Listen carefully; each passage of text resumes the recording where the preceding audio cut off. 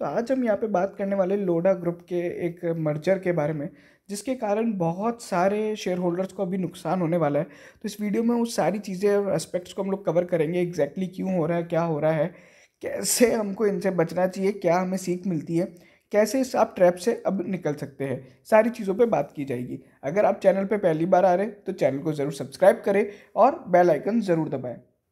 तो अगर आपको मैं बताऊँ तो बेसिकली लोडा यहाँ पे मैक्रोटेक डेवलपर्स के नाम से यहाँ पे लिस्टेड है। इनकी दो तीन सब्सिडरीज हैं और कुछ यहाँ पे अदर सब्सिडरीज हैं अनलिस्टेड और लिस्टेड अब बेसिकली ये लोग रीस्ट्रक्चर कर रहे हैं to save the cost to save the management to save the overall cost of the company ठीक है? तो अब इस मर्जर के कारण क्या हो रहा है? बेसिकली कुछ यहाँ पे जो कंपनीज़ है, जो लिस्टेड है, जिसमें से दो तीन नाम है रोज लैब्स नेशनल स्टैंडर्ड सनांथा नगर तो बेसिकली अब यहाँ पे इनके साथ क्या होएगा कि ये जो कंपनीज़ के जिनके पास शेयर्स है, अब उनको यहाँ पे बेसिकली नेशनल जो अपनी लिस्टेड कंपनी है मैक्रोटेक डेवलपर्स के शेयर मिल जाएँगे। बट ये जो मर्जर रेशो डिसाइड किया गया है, ये काफ़ी ज़्यादा खतरनाक है। इसके बारे में भी अपन बात करेंगे बट अपन सबसे पहले समझते कि ये क्या हो रहा है।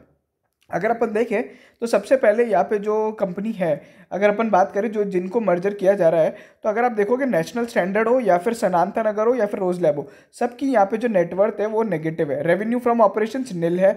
अगर आप देखोगे रोज लैब्स का वहीं पे नेशनल स्टैंडर्ड का बहुत कम ही रेवेन्यू है और नेटवर्थ इसकी भी यहाँ पे नेगेटिव ए, इसकी यहाँ पे नेटवर्थ ज़रूर पॉजिटिव है। बट अदर कंपनीज़ जो है बेसिकली यहाँ पे नेगेटिव है। तो बेसिकली आप समझ सकते हैं ये जो सारी कंपनीज़ है इनका कोई बिज़नेस नहीं है। ये केवल एक तरीके की काइंड ऑफ़ शेल एंटिटीज़ है विद नो बिज़नेस ठीक है? अब यहाँ पे बेसिकली कंपनी यहाँ पे जिसके साथ मर्ज कर रही है वो बेसिकली मैक्रोटाइप डेवलपर्स है जो इनकी मेन कंपनी है। अब इसको बेसिकली मर्ज क्यों किया जा रहा है? और यहाँ पे इन सब कंपनीज़ का काम क्या है? तो वो भी बेसिकली सारी रियल एस्टेट कंपनीज़ में काम करने वाली है। अब इनको मर्ज क्यों किया जा रहा है? बेसिकली यहाँ पे streamlining and simplification and rationalisation यहाँ पे किया जाएगा ओवरऑल ग्रुप एंटिटीज़ का।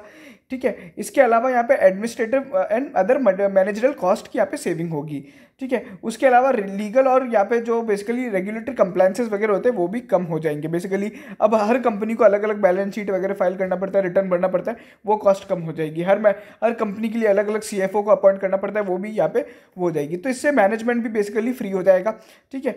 उसके अलावा, अगर अपन देखें तो ये जो ट्रांसफरर कंपनीज़ हैं, इनके पास कोई भी ऑनगोइंग प्रोजेक्ट नहीं है। साफ़ साफ़ लिखा है कंपनी ने, ठीक है? इसके अलावा यहाँ पे जो बेसिकली अभी पब्लिक शेयर होल्डर्स जो हैं, जो ट्रांसफरर कंपनीज़ के, उनको यहाँ पे मैक्रोटेक के शेयर्स मिल जाएँगे। अब यहाँ पे जो रेशो वगैरह डिसाइड हुए थे, ये काफ़ी खतरनाक थे। बट ओवरऑल अगर आप देखेंगे एज अ कंपनी यहाँ पे जो शेयर होल्डिंग है, वो अगर आप कैसे देखेंगे तो इस डील से ओवरऑल जो अभी मैक्रोटेक में शेयर होल्डर्स हैं, उनका ओवरऑल थोड़ा बहुत डायल्यूशन होगा, जिसका बहुत बहुत नील इम्पैक्ट होगा। अब मैं आपको ओवरऑल चीज़ बता देता हूँ कि यहाँ पे क्या अभी हुआ है। एग्जैक्टली exactly अगर आप देखोगे इनके जो मर्जर रेशो डिसाइड हुआ है, वो काफ़ी खतरनाक है। फॉर एग्ज़ाम्पल अपन अगर बात करें रोज लैब्स की तो रोज लैब्स के एक हज़ार शेयर होल्डर जिनके पास भी एक हज़ार शेयर्स है, उनको आठ शेयर मैक्रोटेक के दिए जाएँगे।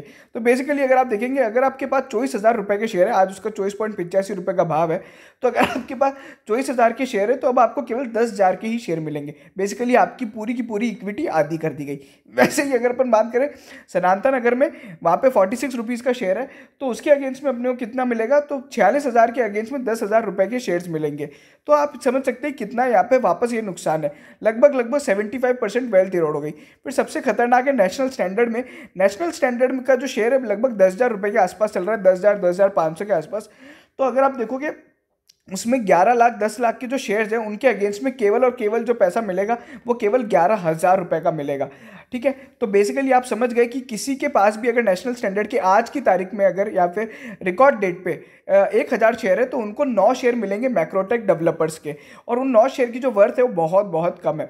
अब मैं आपको एक और चीज़ क्लैरिफाई कर देता हूँ कि यहाँ पे जो अभी ये जो रिकॉर्ड डेट वगैरह अभी तक अनाउंस नहीं हुई है बिकॉज़ इस मर्जर के लिए बेसिकली अप्रूवल्स बाकी है।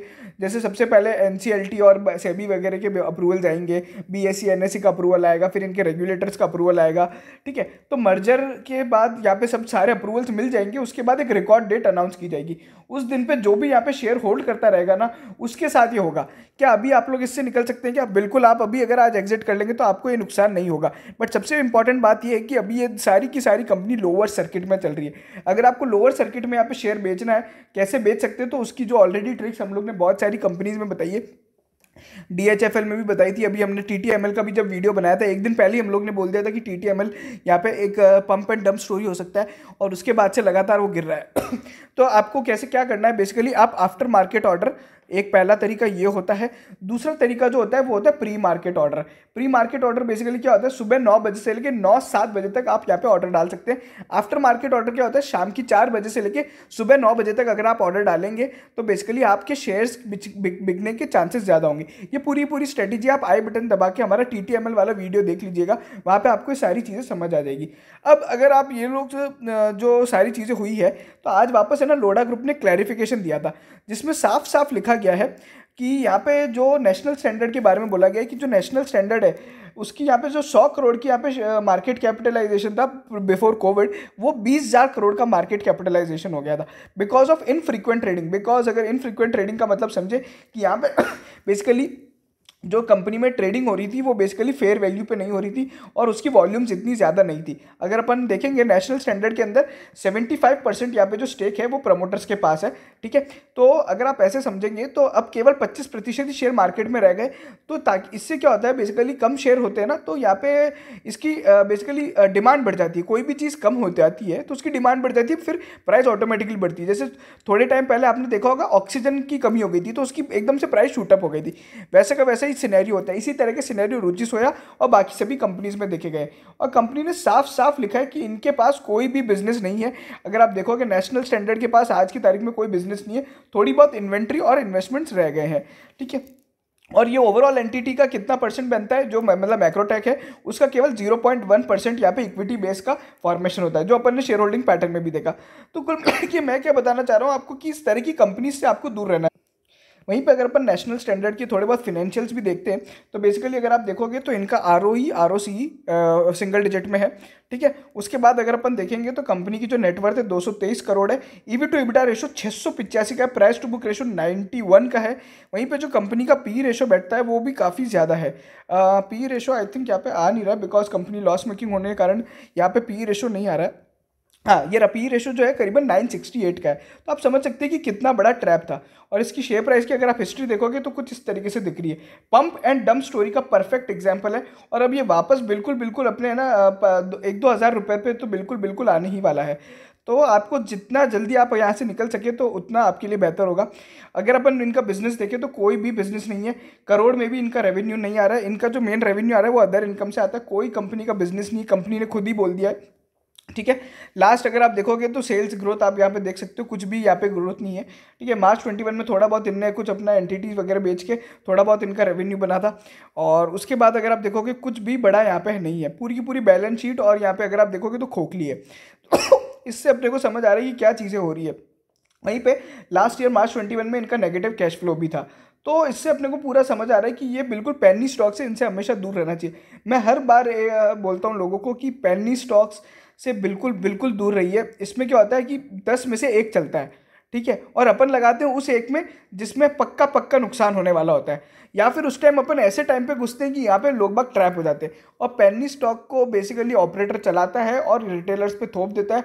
यू विल नेवर नो कि कब से आज यहाँ पे अगर कोई अपर सर्किट लग रहा है, कब से उसमें लोअर सर्किट लग जाएगा, पता भी नहीं चलता है। हम लोग लगातार हमारे टेलीग्राम चैनल पर सभी को ये चीज़ बताते रहते कि बड़ी बड़ी कंपनियों में पैसा लगाओ रिलायंस में लगाओ अडानी में लगाओ गोदरेज प्रॉपर्टीज़ में लगाओ।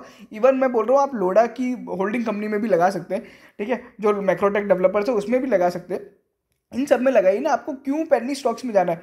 जहाँ बिज़नेस ही नहीं है, आज टी टी एम एल है, उसका कोई बिज़नेस ही नहीं है। फिर भी अपन लोग बाग उसको इस खरीद रहे हैं कि उनको लग रहा है कि जो टाटा का सुपर ऐप आएगा वो इस कंपनी में आएगा। नहीं नहीं, ऐसा नहीं है। टाटा का सुपर ऐप एक अलग ही एंटिटी में आएगा जो कि टाटा डिजिटल है। वो प्राइवेट कंपनी है। इनका कोई बिज़नेस ही नहीं होता। पेनी स्टॉक का प्योर जो ऑब्जेक्टिव होता है बेसिकली शेयर होल्डर्स को यहाँ पे मैनिपुलेट करना और यहाँ पे केवल ऑपरेटर का फ़ायदा करना। ठीक है? तो इस तरीके के यहाँ पे टेक्टेटिक्स यूज़ किए जाते हैं। ओवरऑल अभी आपको जल्द से जल्द निकलना पड़ेगा। अच्छा ये रिकॉर्ड डेट जो मैंने बताई, वो कब तक अनाउंस होगी? तो अभी कम से कम एक दो महीने लग जाएँगे। बट लगातार अब इसमें यहाँ पे लोअर सर्किट ही लगेंगे। ये कोई प्लीज़ मत पूछिएगा कि कब तक इसका सर्किट खुलेगा। अभी सर्किट खुलने कोई चांस भी नहीं है। आज भाव दस हज़ार चल रहा है। कम से कम ये पाँच हज़ार रुपये तक तो बिल्कुल बिल्कुल जाएगा। जिस दिन सर्किट खुल जाए, उस दिन आप निकल जाइएगा और उस दिन किसी भी तरह के अपर सर्किट के उसमें मत आइएगा कि आप अपर सर्किट लगने लग गए, अब अपन यहाँ पे रुक जाते हैं, नहीं तो वापस आप फंस जाएँगे, ठीक है? तो ये सारी चीज़ें थी, इनसे दूर रहना चाहिए। बाकी हमेशा अपनी, मैं मैं तो एक ही चीज़ बोलूँगा कि capital protection is much more important than capital appreciation ठीक है?